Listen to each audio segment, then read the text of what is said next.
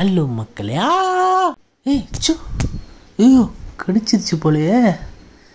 என்னடா இது? Spider web வருமோ? நாளைக்கு செக் பண்ணுவோம். மக்களே இப்போ பார்ப்போம் ஸ்பைடர் வெப் வருதான்னு. இன்னும் வரவே மாட்டேங்குது.